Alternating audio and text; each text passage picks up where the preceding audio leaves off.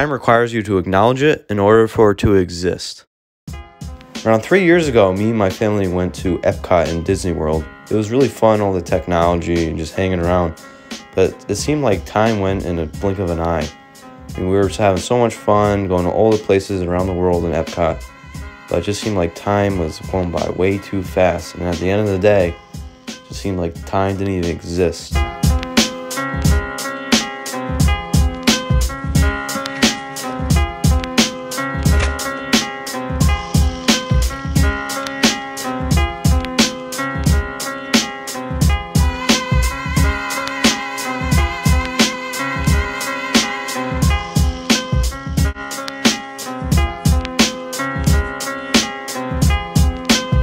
See, a four year old has only four years in his life. But look how much compared to a four year old does a 30 year old have. Look at all these.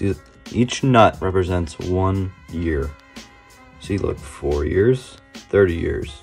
So let's say we were to take one year out of the four year old's life. That's 25% of that four year old's life.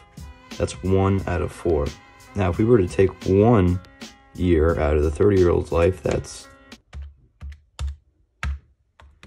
around 3%.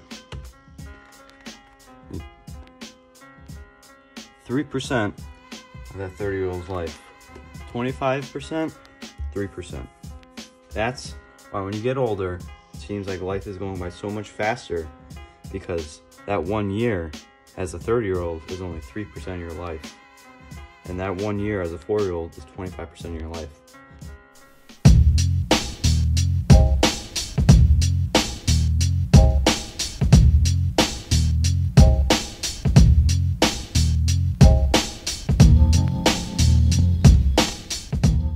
Time can be defined as the measured or measurable period during which an action, process, or condition exists or continues.